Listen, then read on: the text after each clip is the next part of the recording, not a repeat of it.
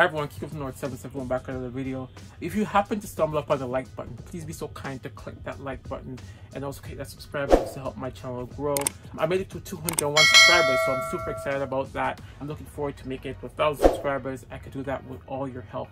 So today, we're here to talk about the aim controller. I got my aim controller back. It's been quite a wait, quite a wait to get this one back, but I'm super excited to uh, to start reviewing this one, reviewing the entire process, return process, and the repair process. So first and foremost, let me talk about the time. Like, how long did it take for me to get my my aim controller? I shipped the controller off on the 3rd of June, which is really sad because they, they guaranteed that it will be delivered on the 11th, which was the next other week, Thursday of the other week, but we only got it on the 14th. I emailed them that, you know, the controller been delivered. They emailed me back saying that they, they confirmed it and they'll be testing it and, um, have and uh, they'll let me know how it goes after testing. But I didn't get email back from them at all for the next couple of days and they sent me an email on the following Monday on the 22nd telling me that my controller um, has been shipped off that week. So overall, it took like about three weeks total for me to actually ship the controller off and get it back. So it's not bad. It, was, it took like about took, took them about five days to have, for them to have the controller repaired, which is like a, a, very quick time, I would say. Like it's, it's, a really good turnaround. So yeah, so it, it took them a, sh a, short time to, to repair and get it back. So in terms of the shipping itself, so Aim control promised me in one of their email that if they if they um if they repair the controller and it's it happens to be uh, their fault, something is defect with the controller, they'll, give me back $25 for Canadian shipping or up to $15 for the American shipping. So they haven't confirmed that they'll give me that money back. They haven't confirmed whether or not my, my the controller actually qualifies for that program, but I've emailed them back, asking them about it. I didn't get a response back. So guys, while I was editing this video, I got an email from Aim Controller confirming that they will be covering the shipping cost. So they do cover up 25 US dollars to ship the item from Canada. So I was able to get a total of 20, $18.77 US dollars, which work out to be 22 $22 Canadian. So they do cover it, which is amazing. About third, repair time. So the repair time, as I mentioned before, only took like one week, five days. So I didn't get an email from them confirming that they repairing the controller. I just got an email that they, they shipped the controller back, and that only took like five days. So it was relatively very quickly in terms of the repair time um, that AIM took. So let's talk about the repair quality. Now, when I got the controller back, it, the box itself had a little bit of um, scuff in it and stuff like that. Maybe from me packing it before, taping it around because I shipped it in the original box.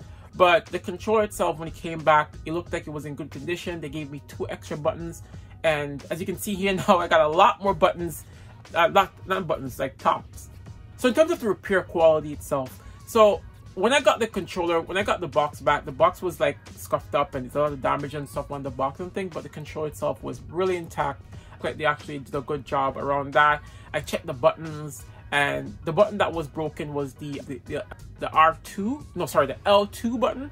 That was not working. The the the triangle button, was the button on the top, I triangle button, the Y button. It's Y button for Xbox, triangle button for PlayStation, but the triangle button was pretty much sticking a little bit, and I checked that out, and it wasn't sticking when I actually initially got it.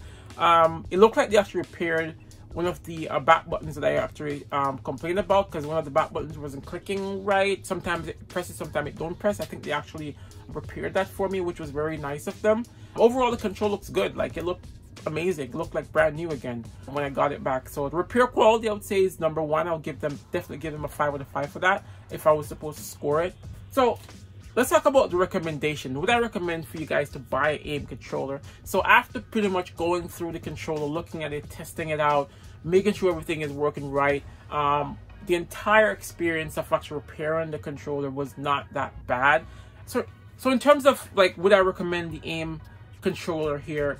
I'd say I probably would. One thing I would actually recommend is that you guys do not buy the the digital the click triggers the click the, the, the, the, mouse click whatever they call it. This actually broke within two weeks of me using it. And this is me lightly using it. I love this controller. It's absolutely rad. It goes fits seamlessly seamlessly with my pc setup as you can see here i got the different lights gone the pc going on it.